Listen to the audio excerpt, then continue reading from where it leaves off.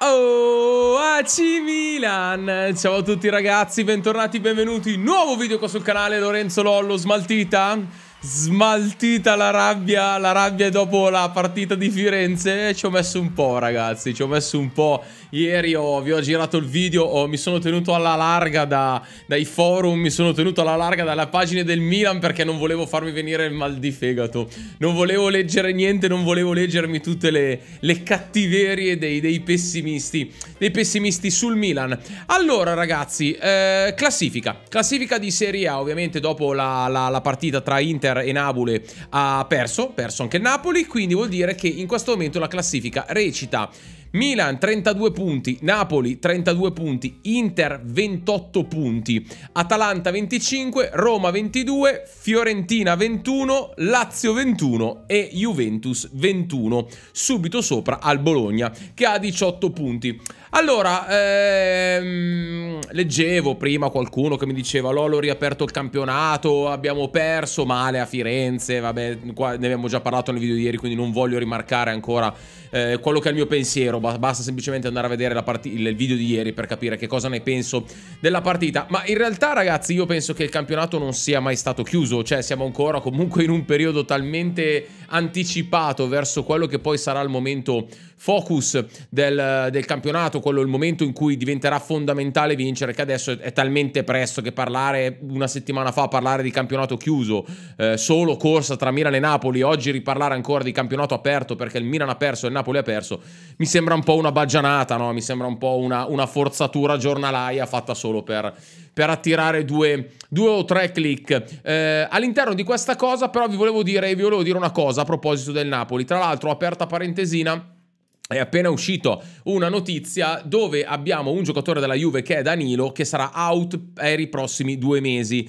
Il terzino della Juventus dovrà restare fuori per almeno due mesi a causa di una grave lesione muscolare. Ehm eh, vabbè, cioè, vabbè, cioè nel senso, ok? Quindi, quindi abbiamo, abbiamo, capito che gli infortuni muscolari purtroppo non ci sono solo al Milan, ma, ma eh, quello che ho detto ieri, questa cosa qua la rimarco perché forse ieri non sono stato abbastanza chiaro, il problema infortuni muscolari al Milan è un problema grave è un problema grave che non va assolutamente sottovalutato ed è un problema che comunque bisogna correre ai ripari e capire insomma che cosa sta succedendo. Notizia ragazzi, è appena uscita, attenzione, mi è arrivato un clippino qua della notizia appena uscita, ecco qua, 40 secondi fa.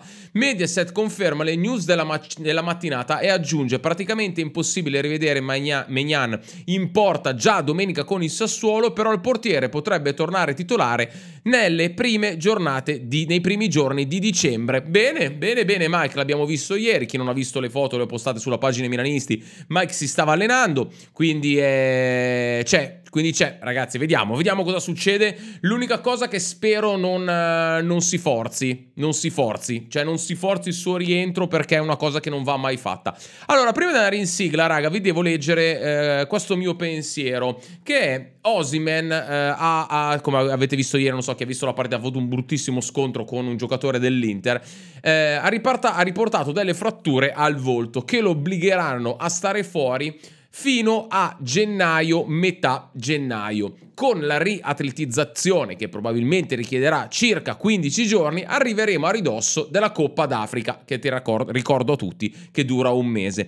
Quindi più o meno il Napoli rivedrà in campo il giocatore africano tra tre mesi a star bassi. Più o meno ragazzi è quella, perché comunque se hai... Perché addirittura qualcuno leggevo questa mattina che potrebbe tornare, eh, anticipare rientro, giocare col Milan con la maschera e quindi potrebbe esserci in quella partita. Però comunque parliamo di un giocatore e noi purtroppo lo stiamo vivendo sulla nostra pelle. I giocatori che stanno fuori tanto tempo, poi quando tornano ci mettono un po' a tornare in forma e eh, il fatto che torni dopo un mese in cui non si è allenato perché doveva indossare la maschera, insomma, sono un po' quelle cose lì. Comunque, problema Coppa d'Africa che poi do dovremmo affrontare anche noi, avendo diversi giocatori che poi se ne andranno via, soprattutto a centrocampo. Bene, ragazzi, allora eh, io direi di andare in sigla. Poi vi devo parlare un attimo della Champions che ci vedrà mercoledì impegnati, eh, impegnati appunto nella partita. Tra l'altro, una piccola nota cu curiosa, una piccola nota curiosa l'arbitro che arbitrerà la partita mercoledì è lo stesso arbitro che ci annullò il gol a Manchester su fallo di mano di Frank sì, che in realtà l'ha presa palesemente sul petto e ancora oggi io mi chiedo come sia possibile che il VAR non sia all'epoca non sia intervenuto. Ok ragazzi, bene, andiamo, poi vi devo parlare di notizie di mercato molto importanti, di Champions, parliamo di notizie di mercato importanti e poi vi devo parlare anche di eh, in Milan che è un po' in affanno. Adesso ne parliamo. Prima di andare avanti ragazzi per eh, riportare, riportare fortuna alla C Milan vi chiedo la cortesia di lasciare po po po pollice in su questo video, continuate a iscrivervi, anche ieri vi siete iscritti veramente tantissime persone, quindi grazie, grazie, grazie di cuore a chi tutti i giorni si iscrive a questo canale, quindi eh, chi non l'avesse ancora fatto qua sotto c'è il tasto iscriviti, iscrivetevi e abilitate la campanella. 1, 2, 3, sigla...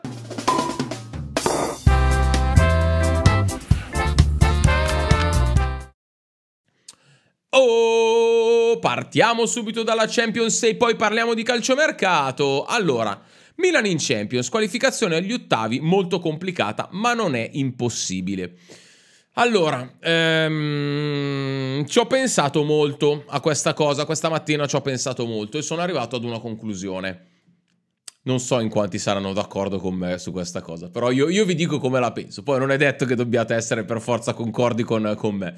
Allora, eh, se Vinco la prossima partita, quindi se vinco mercoledì e poi me la vado a giocare contro il Liverpool nell'ultima, nell'ultima, nell'ultima partita perché mi posso giocare la qualificazione Champions, va bene. Ma arrivare terzi e andare in Europa League, visto quello che sta succedendo in campionato, e cioè visto che noi dobbiamo necessariamente concentrare tutte le nostre forze sul campionato, non lo so quanto ci, ci convenga rimanere in Champions League Tanti mi dicono, anche, anche l'ho visto che l'avete scritto anche l'altro giorno sotto un mio video, eh, Lollo, però mi piacerebbe rimanere in Champions League e andare poi a magari a provare a vincerla. Vero ragazzi, però la Champions è sempre una manifestazione, l'Europa League è sempre una manifestazione strana, giochi al giovedì, poi torni tardi, fai fatica, in campionato hai pochi giorni per riprendere. Non lo so ragazzi, non lo so, non lo so. Poi ovviamente io, io vi dico questa cosa, però se poi dopo va a finire che andiamo in Europa League io me la voglio giocare, me la voglio vincere.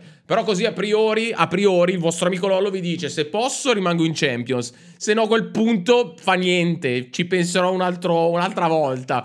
Eh, preferisco andare, insomma, andare avanti in, uh, in Champions se è possibile, se no fa niente, penso al campionato e mi concentro sul campionato. Allora, poi vi volevo parlare eh, di questa cosa. Allora, notizia sulla, Gazz- sulla, Gazzetta dello Sport. Questa mattina il Milan si è ristretto. Tra infortuni e eh, Covid, in tanti hanno perso la forma e le riserve stanno facendo fatica. La benzina dei titolari è diminuita. Qua non sono d'accordo con, la, con l'analisi della Gazzetta, perché comunque il Milan, al di là di tutto, per 75 minuti a Firenze ha dominato e ha dimostrato di, di saperci stare alla grande. Poi nel calcio, raga, ripeto ancora, non si può sempre vincere, il calcio è fatto anche di episodi. Gabbia è incappato in una serataccia, ma il club vuole, vorrebbe puntare ancora su di lui e tra l'altro ci mancherebbe altro. Apro una breve parentesi, ragazzi, so che eh, ho letto dalla, dalla, compagna di Gabbia che ha scritto questo post dove si lamentava di tante persone che sono andate sotto, sotto nel, nell'Instagram di, di, Gabbia a insultarlo di qua e di là, ragazzi, anche qua, ma do, dove cavolo siamo arrivati? Cioè, ragazzi, cioè stiamo sempre parlando di calcio e stiamo sempre parlando di un giocatore di 20 anni che ha sbagliato, sicuramente non ha fatto una delle migliori partite della sua carriera, ma ragazzi, cioè da qua arrivare a minacciare una persona perché non ha... Beh, siamo, siamo, veramente alla, alla, follia, siamo veramente alla follia e... Vabbè, purtroppo lo vedo anch'io, no, ragazzi, avendo a che fare con 20.000 persone tutte le volte che pubblico i video eh, c'è, chi, c'è, chi, non capisce che c'è, c'è, un limite, no? Cioè, comunque vada, eh, anch'io qua sono qua a fare il mio lavoro. Se non sembra, sembrerà strano, ma sono qua a fare il mio lavoro. Cioè, quindi tu puoi anche non essere d'accordo quello di, con quello che dico, però non è assolutamente giustificato che sotto si scrivano degli insulti. A me, grazie a Dio, pochissimi, eh, perché comunque siete. Il mio canale è un canale al 99% pulitissimo. Però ogni tanto succede che qualcuno scrive sotto e io, vabbè, oramai dopo tanti anni non rispondo più neanche. Però mi piacerebbe dirgli, ma cavolo, ma c'è se non sei d'accordo con quello che dico, ci mancherebbe altro, ma non è giustificato che lo scrivi in un modo così. Però vabbè, lo, lo, dicono a me e quindi immagino io che ho 20.000 follower su, su, Instagram e 20.000 qua, immagino a uno come Gabbia che chissà quanti ne ha e chissà quante parole si arriva. La follia ragazzi, follia. Scusate questo off topic ma mi sembrava giusto farlo. Eh, il giornale aggiunge che il primo KO del Milan è figlio dell'emergenza continua. Pioli non, non cerca scuse ma il, KPO, il KO è il Capioli. il KO è figlio dell'emergenza. Vabbè, vabbè, fa niente ragazzi. Allora vi volevo parlare di questa notiziata di mercato in chiusura. Milan tra Sanchez, Favre e Camara. Eh, la notizia è riportata da Pedulla e dice questa cosa. Sul mercato del Milan, Renato Sanchez ha parlato, Renato Sanchez, per chi non l'avesse visto, ha rilasciato un'intervista e dice del Milan... Eh, dice del Milan, sono molto onorato de, dell'interesse del Milan.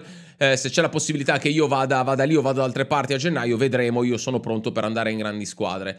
Allora, su, ehm, su, Sanchez, ragazzi, ne abbiamo parlato tanto. Ne abbiamo parlato tanto. Adesso qualcuno di voi stamattina mi ha scritto: Lolo, guarda che si è fatto male ancora Sanchez. Ragazzi, dobbiamo prendere una decisione su Sanchez. Cioè, so che noi non prendiamo nessun tipo di decisione, però come tifosi, almeno di questo canale, dobbiamo prendere una decisione. Se andiamo a prendere un giocatore come Sanchez, che è un giocatore forte, forte, forte, dobbiamo mettere in eh, preventivo che verrà al Milan e la sua storia di calciatore in tutti questi anni ha dimostrato che lui è un giocatore che almeno un terzo del campionato ogni anno da professionista l'ha perso. Quindi, se, vogliamo, se dovessimo decidere noi come tifosi di adottare Sanchez come nuovo giocatore del Milan, quindi dire ok, puntiamo su di lui, mettiamo già in preventivo che è un giocatore che è molto predisposto agli infortuni. Quindi sappiamolo, sappiamolo, sappiamolo. Eh, Favre resta un obiettivo del Milan, non si cambia versione ogni 5 giorni, insomma, perché alcuni dicono che piace al Milan, altri insomma un po' delle, delle balle così.